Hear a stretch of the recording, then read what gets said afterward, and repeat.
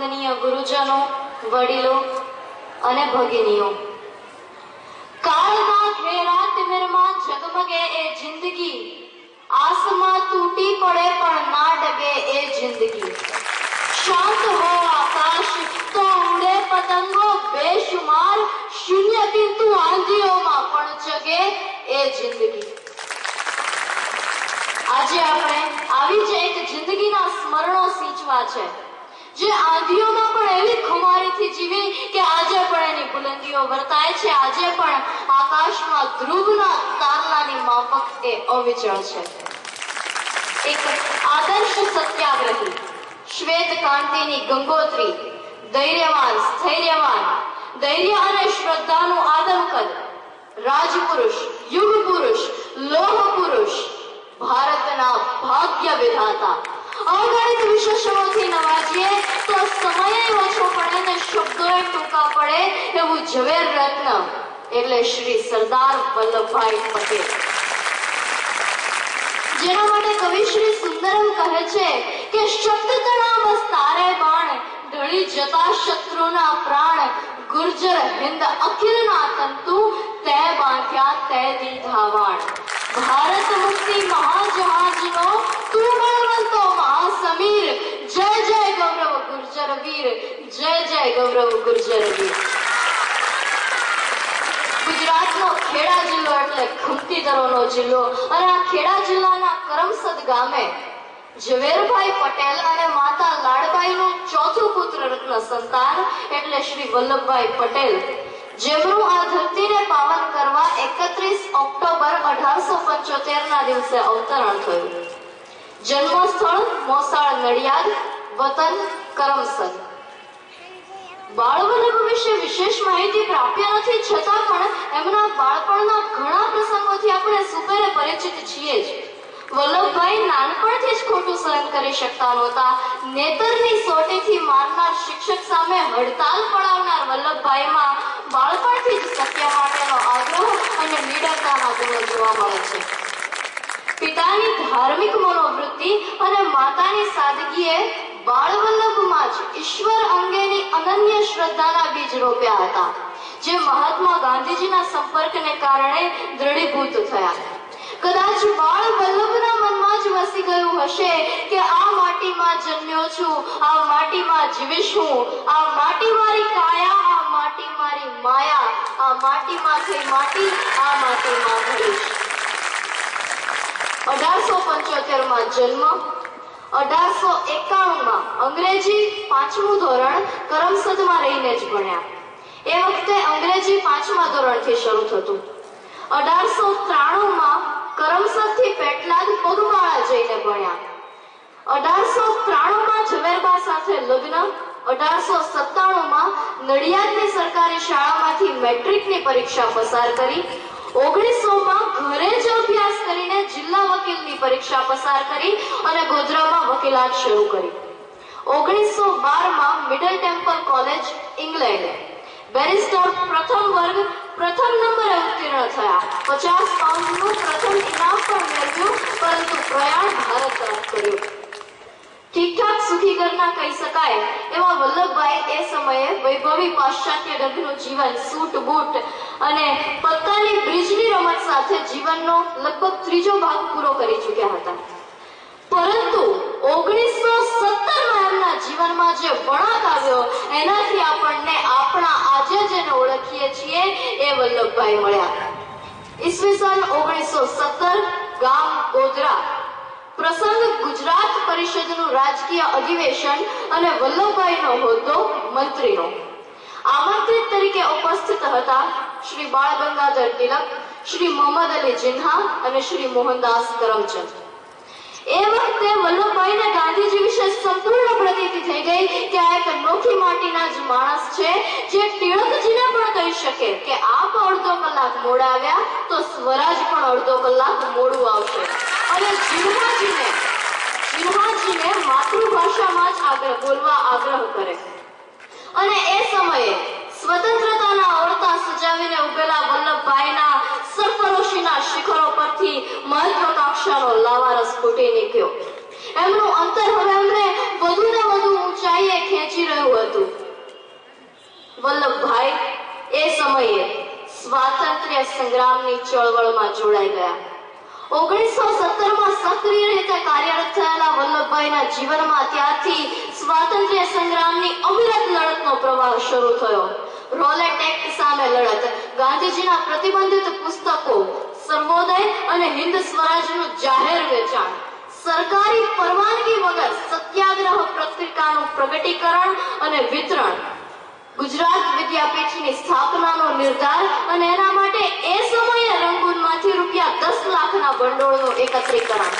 નાગપુર ઝંડા સત્યાગ્રહ. અમદાવાદમાં મ્યુનિસિપાલિટીની ચૂંટણીમાં તમામ બેઠકો પરનો વિજય. બોરસદનો હૈડિયાવેરો વેરો સત્યાગ્રહ જેની જ્વલંત સફળતા બાદ બોરસદના સુબાનો બિરુદ મળ્યો. આવા તો કેટ કેટલાય કાર્યો અગણિત સત્યાગ્રહો અને દરેકે દરેકની જ્વલંત સફળતા. ઓગણીસો સત્તરથી શરૂ થયેલી આ યાત્રાએ ઓગણીસો અઠ્યાવીસમાં એક અભૂતપૂર્વ સ્થિતિ હાંસલ કરી. સમગ્ર વિશ્વની જનતા જે ઘટનાની રજે રજથી વાકેફ છે, એ બારડોલી સત્યાગ્રહ. અંગ્રેજ સરકાર સામે કાળ બનીને ઝપટી પડેલા વલ્લભભાઈએ આ સત્યાગ્રહમાં અકલ્પનીય, અવર્ણનીય અને અદ્વિતીય રીતે વિજયનો અંગીકાર કર્યો. નાભિષેકો સંસ્કાર સિંહસ્ય ક્રિયતે મૃગેહી, વિક્રમાર્જિત રાજસ્ય સ્વયમેવ મૃગેન્દ્રતા. વનમાં ત્યારે સિંહનો રાજ્યાભિષેક કે રાજ્ય સંસ્કાર નથી હોતો, પોતાના પરાક્રમથી પ્રાપ્ત કરેલા રાજ્યનો જ વનરાજવીર કેસરી બની જાય છે. અને એ સમયે વલ્લભભાઈને પ્રસંગોચિત અને વ્યક્તિત્વોચિત બિરુદ મળ્યું સરદાર.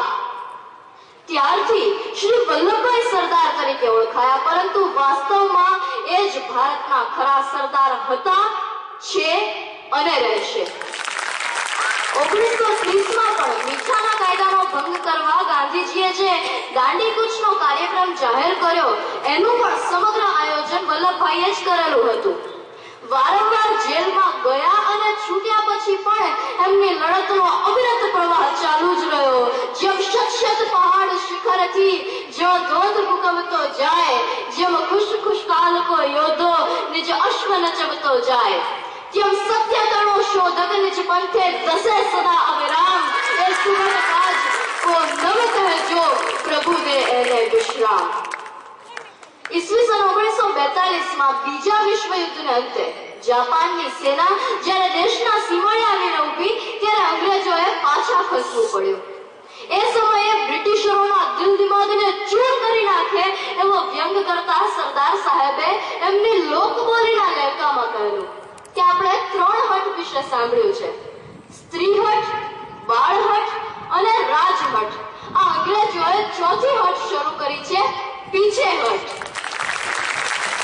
ઓગણીસો બેતાલીસમાં ગાંધીજીએ હિન્દ છોડો આંદોલનની જાહેરાત કરી. એ પહેલા જ સરદાર સાહેબે અંગ્રેજોને ચોખ્ખા શબ્દોમાં જણાવી દીધેલું કે, હવે તમે અમારું રક્ષણ કરી શકો એમ નથી. અમે અમારા જાનની બાજી લગાવીને અમારા રાષ્ટ્રનું રક્ષણ કરીશું.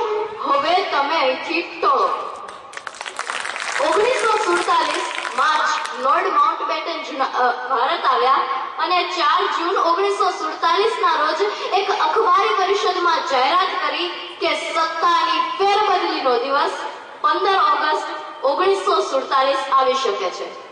અને અંતે દિવસ આવી પહોંચ્યો જ્યારે શ્રી મેઘાણીજી લખે ને આખો દેશ નાચી ઉઠે કે મુક્તિને ક્યારે રક્તો રેડણ હારે પાયો સાગરને પારે સ્વાધીનતાની કબરોમાં મહેક્યો અને બિસ્મિલ બેટાઓની માતાના ભાલે મલકાયો કસુંબીનો રંગ દરેકે દરેક સ્વાતંત્ર્ય વીરની આંખ ત્યારે કેટલી વરસી હશે જ્યારે ભારતનો તિરંગો સ્વમાન ભેર પહેલીવાર સ્વતંત્ર ભારતમાં લહેરાયો હશે આકાશમાંથી પોકારી પોકારીને કહેતા રહેજે, વધ આકાશે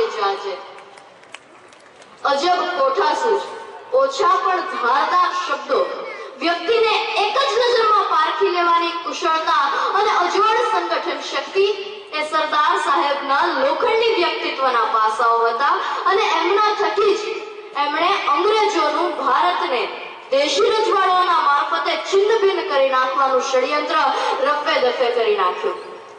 માત્ર બે જ વર્ષના ટૂંકા ગાળાની અંદર પાંચસો પાસઠમાંથી પાંચસો બાસઠ દેશી રજવાડાઓને એક કર્યા બાદ સરદાર સાહેબે જે કડક નીતિ અપનાવી અને લશ્કરી રાહે જુનાગઢ અને હૈદરાબાદને ભારતીય સંઘમાં જોડી દીધા.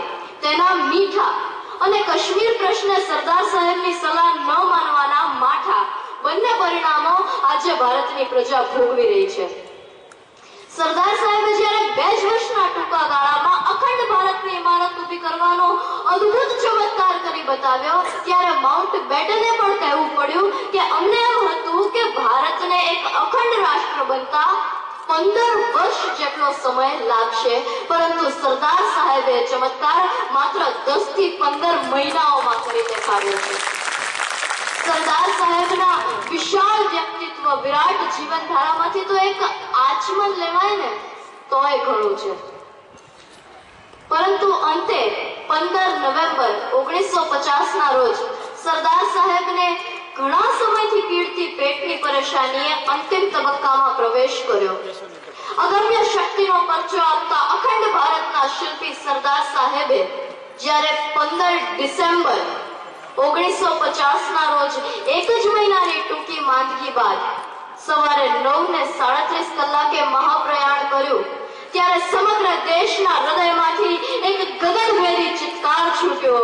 અશ્રુઓની જલધારાએ હાહાકાર મચાવ્યો વેગીના વાયુમંડળે ચક્રવાત સર્જ્યો. પૃથ્વી પોતાના પરોતા પુત્રને પોતાનામાં પાછો ખેંચી લેવા કંપી ઉઠી અને સૂર્યની લપકયગન જ્વાળાઓ વધુ તેજસ્વી થવા આ તેજોમય ચૈતન્યને પોતાના તરફ ખેંચી રહી. પંચમહાભૂતનો બનેલો સરદાર વલ્લભભાઈ પટેલ નામનો આ નશ્વર દેહ ફરી પંચમહાભૂતમાં ભળી ગયો. આત્મા તો અજરમર છે, પરંતુ નશ્વર દેહનું શું મૂલ્ય છે એ સમગ્ર વિશ્વએ એ દિવસે અને ત્યારે સૌ એકી અવાજે બોલી ઉઠેલા કે, એની ભસ્માંકિત ભૂમિ પર ચણજો આરસ ખાંભી એ પથ્થર પર કોતરશો નવ કોઈ કવિતા લાંબી. લખજો ખાક પડિયાહી સૌના લાડક વાયાની વંદે માતરમ.